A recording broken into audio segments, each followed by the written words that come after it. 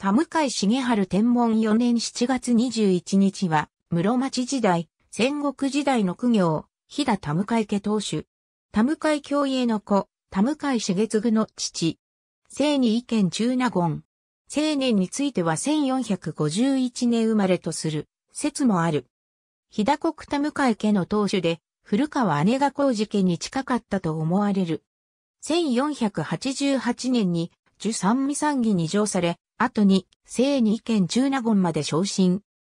中納言は当時としてはかなり高い方の位だが、官位を上されるほどの大きな功績を挙げた記録は残っていないため、公家という出自からであるとも考えられる。当時、官位は朝廷から除されるものであり、朝廷は公家、すなわち貴族であり、もともとは武士ではない。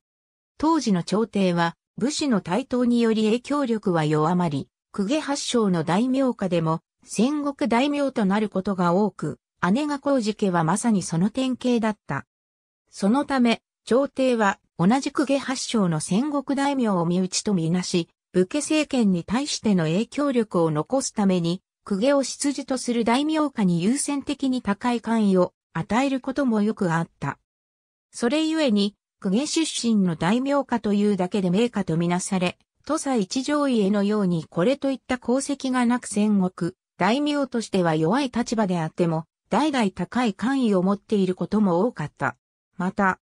基本的に大名は一つの官位しか名乗れないため、上位を上されると、これまでの官位は空位となるが、武将個人ではなく大名家に除されるため、空位となっても返還されることはなく大名家に除された官位として残るため、大名が子祖家や重臣を後継に任命することもあった。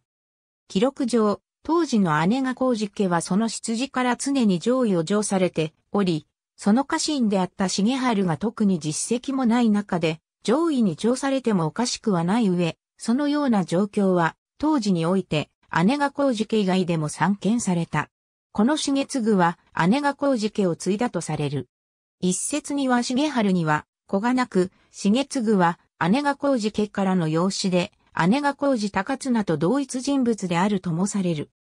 この年代における姉が工事家を取り巻く日田国士さんや、及びその家臣団の中で、唯一、古川姉が工事家一門を除き生没年がある、程度はっきりしている武将である。ありがとうございます。